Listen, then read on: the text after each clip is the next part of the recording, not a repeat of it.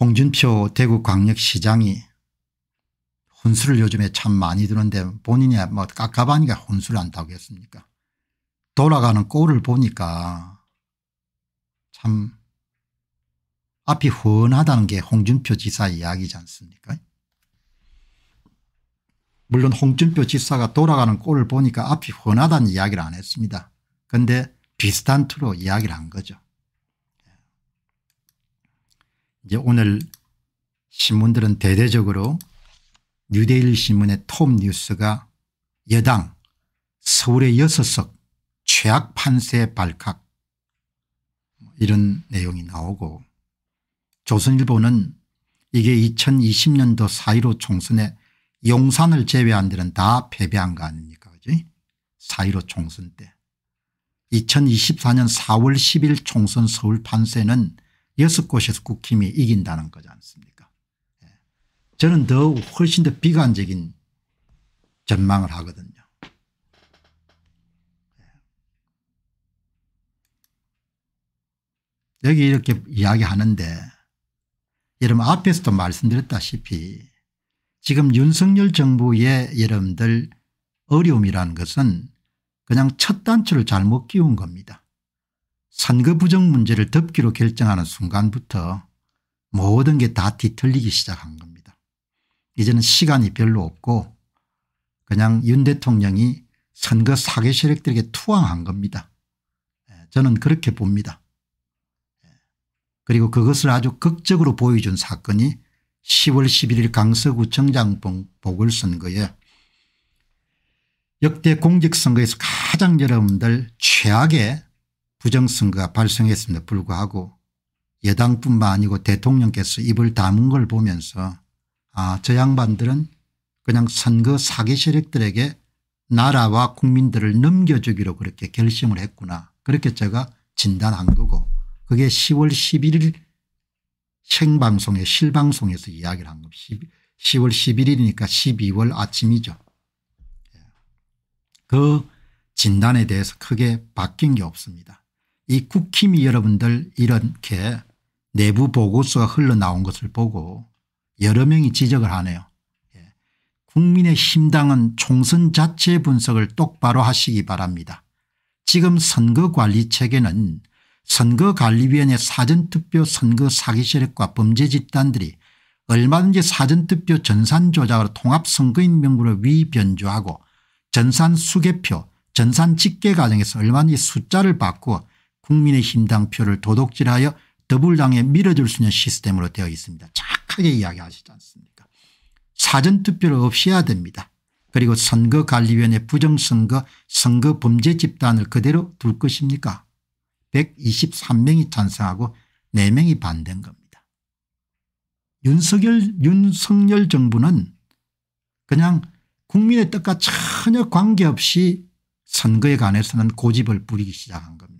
그게 모든 비극의 출발지고 종착지가 될 겁니다. 밑에 지인님 보시기 바랍니다. 부정선거 밑밥을 깔아주는 기사에 우파까지 합세해 부하내동을 한다. 난리 발광이구나. 그때하고 지금하고 상황이 다른데 왜들 난리냐 국민들이 쏘가 그렇다고 치자 게다가 부정선거 의혹까지 아직 해소되지 않았으인데 또 쏘가 넘어가네. 예.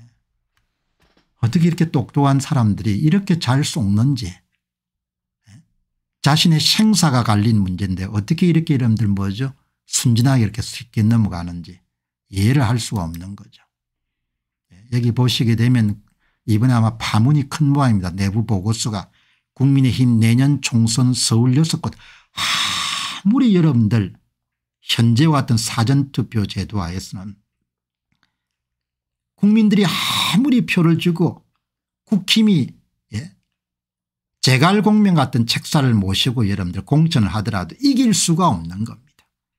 왜냐하면 표를 다 던지고 개표를 마무리해서 개표 상황표의 숫자를 개표 현장에 있는 컴퓨터를 통해서 전송을 하게 되면 전송을 한 것이 모두 다 집화되는 데이터베이스부터 이런들 모두가 변조돼 가지고 방송을 타게 돼 있는데 무슨 수로 이기겠냐 이야기 응? 이길 수가 없는 겁니다. 그 여러분들 너무나 명백한 예? 여러분들 이런 주장이 만일 허위거나 이랬으면 벌써 무슨 짓을 여러분들 범했을 겁니다. 그 친구들이. 그러나 본인들도 찔리는 게 있으니까 내가 이렇게 이야기하더라 아무 말을 못하지 않습니까 그 이야기는 사실에 가깝다는 이야기입니다. 예. 개표 상황표에서 여러분들 다 그 검증을 해가지고 숫자를 입력하면 그 숫자가 다 뭡니까? 데이터베이스에서 변조가 돼 가지고 밖으로 나가는데 뭐 여러분들 뭐 이게 예? 뭘, 뭘 가지고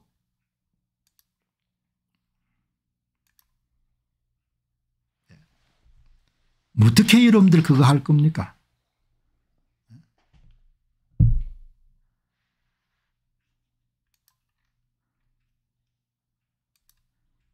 문화일보에 분당에 몰려드는 면면 보니까 총선 이기기 힘들다.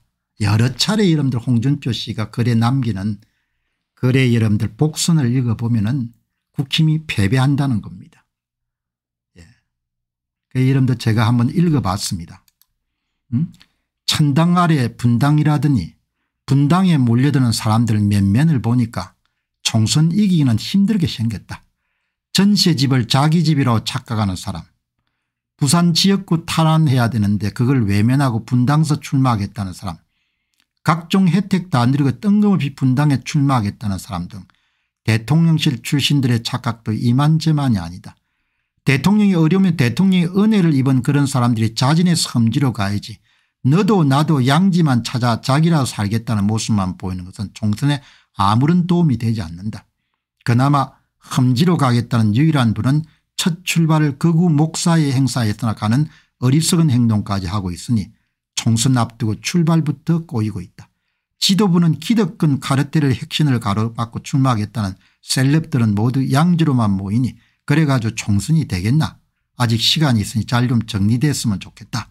예. 홍준표 씨가 아무리 여러분들이 이야기를 하더라도 홍준표 시장도 현직 정치인이고 앞으로 정치를 계속해야 되기 때문에 선거 부정에 대해서만은 솔직한 이야기를 할 수 없는 겁니다. 홍준표 시장이 대개 여러분들 단호하게 이야기를 말씀을 잘하지만 본인도 정치를 해야 되니까 그 단호함은 선거 부정만은 일체 언급 안 하는 겁니다. 그러니까 여기 결론도 찬당 아래 분당이 어떻고 분당으로 이놈 저놈이 다 모이니까 한심하다 이 정도가 아니고 현재 사전투표의 제도적인 틀 하에서는 국힘은 죽었다 깨도 이길 수가 없다는 겁니다. 그거를 받아들일 수가 없는 겁니다. 그래서 망하는 길 외에는 달리 대안이란 게 없는 겁니다. 상황 판단을 잘못하면 은 비용을 치르지 않습니까 그게 세상사를 관통하는 이치고 그게 시민이든 대통령이든 여러분들 정치인들 간에 판단을 잘못하면 그냥 그걸로 예, 비용을 치르지 않을 수가 없지 않습니까? 예. 그래서 여러분들 그 가혹한 비용을 아는 사람들은 어마어마하게 신중하지 않습니까? 신중에 신중을 다하지 않습니까? 왜? 자신의 잘못된 선택이 모든 것을 날려버릴 수 있다는 걸 알기 때문에. 대한민국 사람들은 홍준표 시장을 포함해 가지고 소위 사전투표 현행 사전투표 제도 하에서 어떤 일이 일어나고 있는지를 눈을 감는 대가를 세세손손 치르게 될 거란 이야기죠. 그 이야기가 네 여러분들 한번 보시죠. 음? 홍준표 시장은 말을 굽힐 수가 있습니다. 왜 정치를 해야 되니까. 그러나 나는 정치 따위는 아무 관심도 없는 사람입니다. 예? 그 자체의 의미를 부여하지 않기 때문에 진짜 이야기를 할 수 있는 겁니다. 대한민국 국민들은 이 상태로 가면은 국힘은 대표할 거고 더불당 치하에서 이런들 죽을 고생을 할 겁니다. 보시기 바랍니다. 예. 그냥 나라가 그냥 미쳐가는 겁니다. 다 정신이 없는 겁니다. 예. 어떻게 사람들이 이렇게 변해버렸을까 생각하게 되면 때로는 뭐 한심하기도 하고 안 됐기도 하지만 어떻게 하겠습니까 그거를 한 사람 한 사람 잡고 뭐 정신처리라 정신처리를 할수 없는 것이고 이 말씀은 다 좋은데 예. 근본 문제는 이야기를 안 하지 않습니까 선거 부정 문제를 해결하지 못하면 은 음, 이 보시기 바랍니다. 문화일보조차도 혁신을 거듭찬 김기현 여당과 조기 비상대책위원회 불가피성 이따위 이야기를 쓰는 겁니다.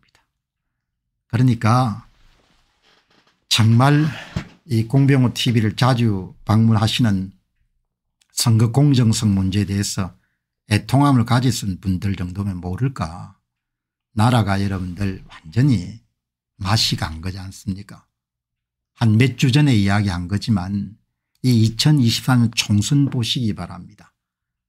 제야 전문가의 분석 결과는 48대 이게 48대 3이 아니죠. 49석이니까 예. 이게 46대 3입니다. 46대 3. 46대 3인 겁니다. 예. 강서구청장 보궐선거에서 선거 사기 세력들은 사전투표일 기준으로 7.49%의 뻥튀기를 했습니다. 그래서 3만 7,473표를 유령 사전투표자를 확보해 가지고 진교훈 후보한테 다 집어넣어 준 거죠. 그래서 압승을 한 겁니다. 그 17% 차이가 득표율 차이가 난 겁니다. 신종 사기 수법입니다. 10월 11일 강서구청장 보궐선거는 동일한 방식을 2024년 4월 10일 총선에서 사용할 것으로 봅니다. 저는 조금 더 강하게 쓸 수도 있다 이렇게 봅니다. 그러나 강서구청장 보궐선거와 동일한 조작수법과 동일한 조작 세기를 사용하게 되면 은 46대 3이란 거 아닙니까 46대 3 음? 46대 3 지금처럼 서울에서 8석입니다. 4.15 총선에 조작이 없었으면 17석을 여러분 국힘이 차지했을 겁니다. 그거 이런 분석 결과를 다 이렇게 나오지 않습니까 분석 결과가 이렇게 다 나오지 않습니까 승리하는 선거구가 이런 다 이렇게 나오지 않습니까 차이값 그래프를 이용하 차이값 크기를 이용하게 되면 국힘은 6석을 이긴다고 하지만 강남에도 여러분들 3석을 빼앗길 겁니다. 그래서 여러분 강남에 4.15 총선 2020년 총선에서는 세 군데 살아남을 거로 봅니다. 서초구갑 강남구갑 강남구병 서초을 강남을 송파갑은 다 집니다. 가정은 단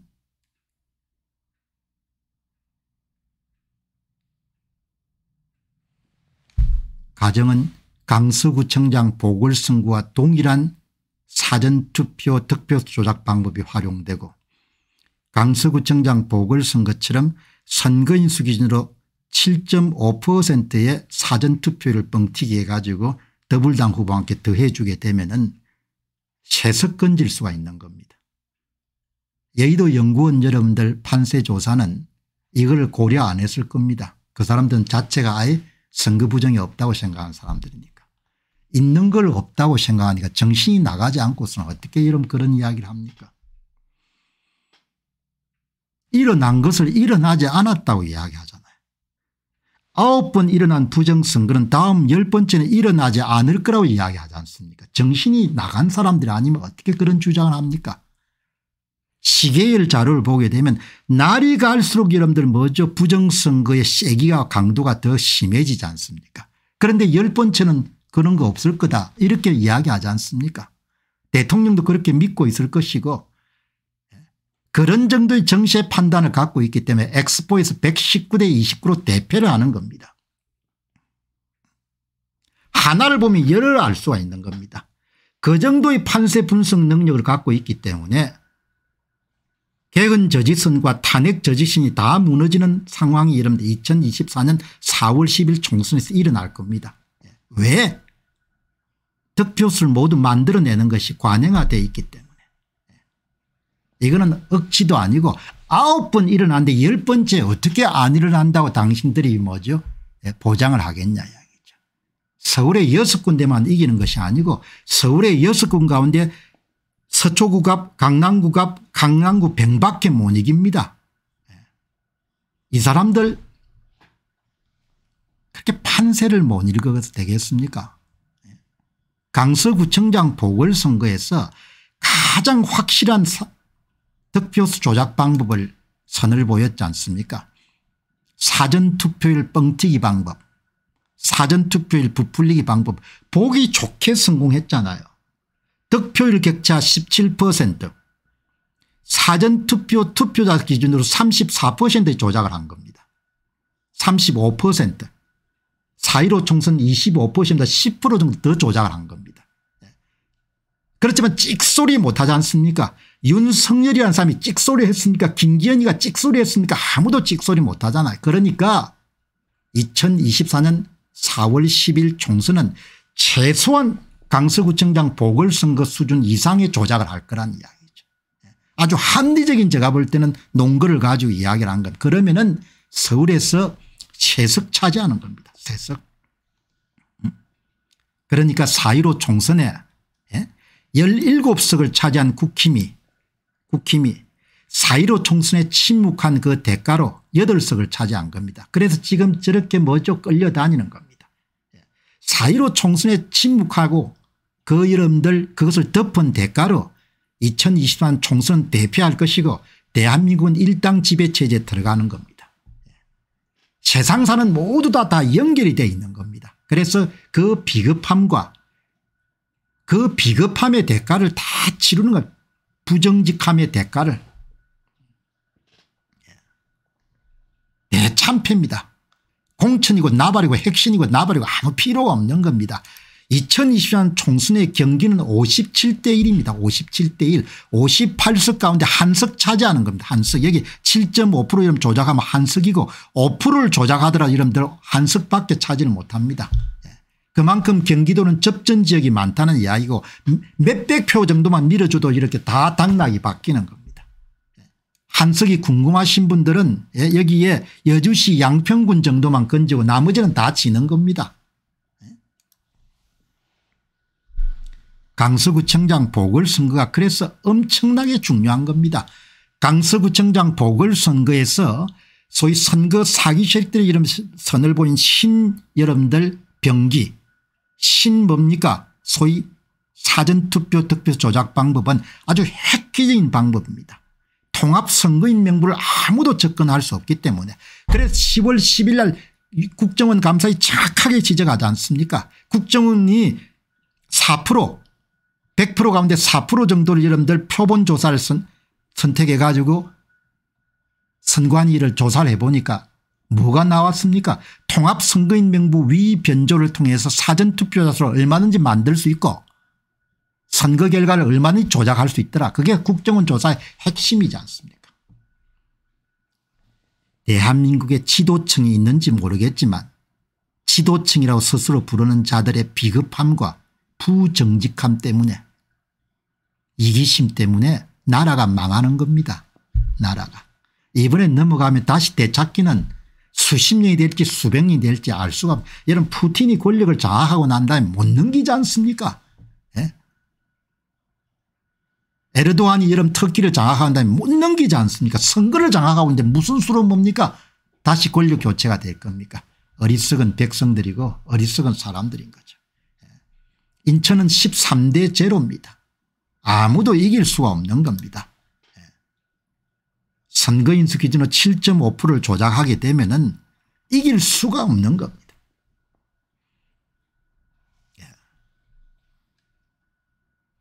전번에 한번 이 프로젝트는 강수구청장 보궐선거가 끝나고 난 다음에 제야 전문가하고 제가 이야기를 해가면서 우리가 내린 결론은 2024년 4월 10일 총선에서는 10월 11일 강서구청장 보궐선거에서 활용된 사전투표일 부풀리기 방식을 사용해 가지고 사전투표 득표수를 조작할 것 같다. 그러면 그 수준에 이런 맞춰서 조작하게 되면 전국의 판세가 어떻게 나올 것인가를 분석한 결과 예, 인천광역시는 13대 제로입니다. 그러니까 근본 문제에 침묵하고 그것을 이런 덮는 기로 결정하는 순간 윤 정부의 나락이 떨어지는 거하고 대한민국의 몰락이란 것이 그냥 가속화된 겁니다. 세상사에 예.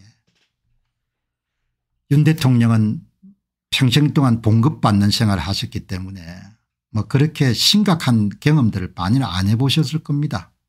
그러나 크든 작든 자기 의사결정을 내리고 삶을 개척해 온 사람들은 자기가 판단을 잘못하면 그냥 망한다는 걸 아는 거죠.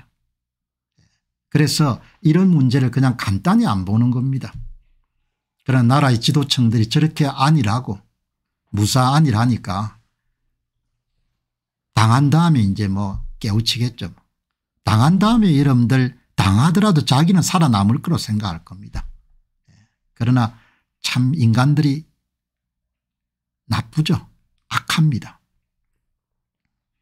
자식을 키우는 이런 부모 입장에서 참정권을 박탈당한 나라에 후손들이 살게 한다는 것은 엄청난 죄악이지 않습니까 그런 데 대한 어떤 책임감 같은 게 전혀 없는 겁니다. 지금 집권층에. 후손들이 이름들 부정선거가 완전히 제도화된 나라에 살아간다는 것에 대한 죄책감이라든지 위기의식이 현재 대통령을 비롯해서 누구도 거기에 대한 절박감이라는 책임감이 없는